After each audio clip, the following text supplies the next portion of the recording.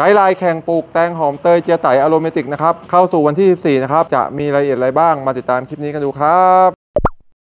หลังจากที่คลิปก่อนนะครับ ได้ทำการเอาต้นนะครับที่เกินออกไปนะครับ ตอนนี้เหลือไว้ทั้งหมด 5 ต้นนะครับ จริงๆก็คือต้องการแค่ 4 แต่ว่าเผื่อๆไว้นะครับ ทีนี้นะครับจะสังเกตนะครับเริ่มนะครับมีพวกแมลงวีขาวอะไรต่างๆนะครับเข้ามารบกวนนะครับนี่ครับใบก็จะมีร่องรอยนะครับของการเข้าทำลายนะครับของแมลงวีขาวนะตอนแรกมันเยอะเยอะนะครับเพราะว่าต้นมันติดติดๆกันตอนนี้เริ่มต้นห่างกันมันก็จะน้อยลง ตอนนี้นะครับเป็นเวลาประมาณ5้าโมงเย็นนะครับกำลังเลิกงามยามดีนะครับเราจะทำการฉีดพ่นนะครับเป็นรอบที่2นะครับสำหรับเมทาไลเซียมนะครับหรือว่าเมตาไลท์นั่นเองนะครับตัวนี้เลยนะครับผมจะใส่เป็นรอบที่2นะครับรอบแรกเราใส่ไปทีแล้วนะครับนี่คือรอบ 2 โดยนะครับใช้นะครับน้ำนะครับปริมาณนะครับก็คือ 1 ลิตรนะครับ100กรัมต่อน้ำ20 ลิตรนะครับ5กรัมนะใช้ 5 กรัมนะครับต่อน้ำ1ลิตรนะครับช้อนนะครับ5กรัมนะครับ1ช้อนนะครับต่อน้ำ1ลิตรอะก็ใส่ไปเลยครับจากนั้นนะครับเราก็ทำการคนนะครับหรือว่าจะใช้ตัวเบนดิกนะครับเสริมเข้าไปนะเพราะว่าเห็นไหมครับมันจะไม่ค่อยละลายนะครับถ้าเกิดเราใช้เบนดิกเสริมเข้าไปมันก็จะช่วยในการทำละลายนะครับ อันนี้ขวดที่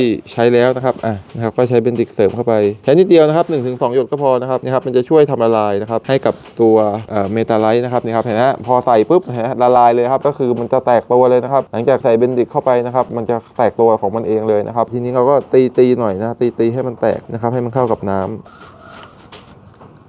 จากนั้นนะครับเราก็ใส่นะครับฟอกกี้นะครับผมเพื่อทำการฉีดพ่นช่วงเวลาที่แนะนำก็คือช่วงเวลาเย็นๆแบบนี้แหละครับผมนะครับเพราะว่าแมลงนะครับต่างๆนะแมงแมลงต่างๆ แมงวีขาวอะไรก็แล้วแต่นะมันชอบมากลางคืนนะครับเราก็ควรฉีดพ่นช่วงนี้แหละครับผมนะตัวนี้นะครับเป็นชีวพันธุ์นะครับปลอดสารพิษก็สามารถฉีดพ่นได้โดยไม่ต้องใส่ถุงมือไม่ต้องใส่หน้ากากนะครับปลอดภัยนะกับผู้ใช้นะครับไม่ใช่เคมีนะครับเคมีนี่คือฉีดโดนตัวตายนะ สมมุติว่าเนี่ยก็คือแมลงใช่ไหมฉีดโดนตัวก็จะตาย แต่ว่าตัวเนี้ยฉีดโดนตัวไม่ตายนะครับมันจะไปก่อโรคในแมลงของสวันถึงจะตายนะครับ มันก็จะช้านิดนึงนะครับ แต่ว่าถ้าขยันฉีดบ่อยๆนะมันก็จะช่วยป้องกันด้วยนะครับ ไม่ให้เกิดโรคและแมลงนะครับในในต้นของเรานะครับฉีดอย่างชุ่มเลย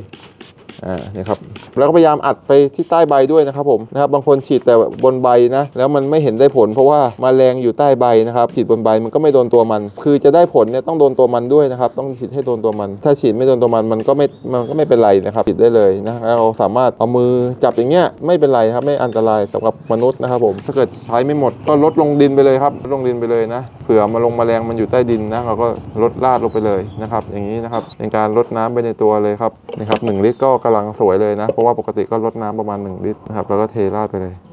ใครปลูกออร์แกนิกนะครับผมนะครับ ก็แนะนำเลยนะครับ อะ